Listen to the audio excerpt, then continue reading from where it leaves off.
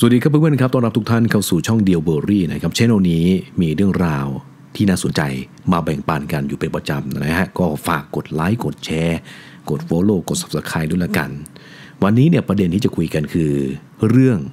การถือศีลอดนะฮะว่ามีข้อดีอย่างไง เพราะว่าชาวมุสลิมนั้นนะฮะก็ใช้โอกาสในช่วงนี้นะครับ แล้วก็ด้วยความเชื่อด้วยประเพณีด้วยศาสนาของเขานะครับ ทีนี้เนี่ยชาวมุสลิมหลายล้านคนนะครับ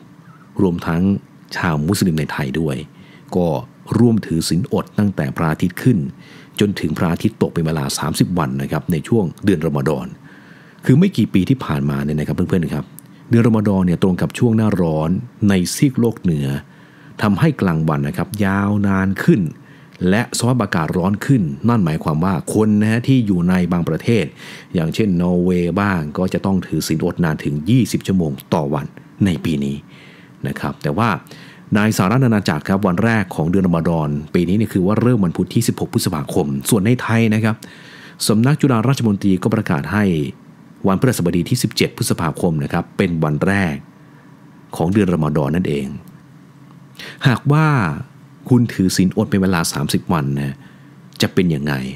ผมจะไล่ลำดับให้ฟังเลยนะครับ2ถึง3วันแรกนะครับเพื่อนๆครับคือเป็นช่วงที่ยากลำบากที่สุดนะ ตามหลักการแล้วคือว่าร่างกายไม่ได้เข้าสู่ภาวะอดอาหาร จนกว่าจะครบ 8 ชั่วโมงนะครับหลังจากที่กินอาหารมื้อสุดท้าย ซึ่งเป็นช่วงเวลาที่ลำไส้เนี่ยมันดูดสารอาหารต่างๆ จากอาหารเสร็จสมบูรณ์แล้ว ไม่นานหลังจากนี้ครับร่างกายของเราก็จะเปลี่ยนกลูโคสที่เก็บสะสม ไว้ในตับแล้วก็กล้ามเนื้อมาให้พลังงาน เมื่อกลูโคสหมดครับไขมันก็จะกลายเป็นแหล่งพลังงานสำหรับร่างกายแทน เมื่อร่างกายเริ่มเผาผลาญไขมันนะครับ ก็จะช่วยทำให้น้ำหนักนั้นลดลงครับ ลดระดับคอเลสเตอรอลแล้วก็ลดความเสี่ยงของการเป็นเบาหวานนั่นเอง อย่างไรก็ตามนะครับ การลดลงของระดับน้ำตาลในเลือดเนี่ยก็จะทำให้เกิดความอ่อนเพลียแล้วก็เสื่องซึม คุณอาจจะมีอาการปวดศีรษะวิงเวียน คลื่นไส้ แล้วก็หายใจลำบากได้ เมื่อมีอาการหิวเพิ่มมากขึ้น จนถึงระดับที่รุนแรงนะครับ แต่ว่าถ้าเกิดว่ามีการอด มากขึ้นมากขึ้นเรื่อยๆนะฮะตั้งแต่วันที่ 16 ถึง 30เนี่ยเขาเรียกว่าถอนผิดฮะคือว่าช่วงครึ่งหลังของการถือศีลอดนะครับร่างกายก็จะมีการปรับตัว เข้ากับกระบวนการอดอาหารได้อย่างสมบูรณ์แบบครับ ในช่วงนี้เนี่ยตามรายงานบอกว่าลำไส้ใหญ่บ้างตับไต แล้วก็ผิวหนังนะครับ ก็จะเข้าสู่ช่วงของการถอนพิษแล้วครับ ในด้านสุขภาพเนี่ยการทำงานของอวัยวะต่างๆครับน่าจะกลับไปสู่ระดับ เต็มศักยภาพอีกครั้งครับ ความจำสมาธิอาจดีขึ้น และคุณอาจจะมีเรี่ยวแรงเพิ่มขึ้นด้วย นี่คือเป็นความเห็นนะครับ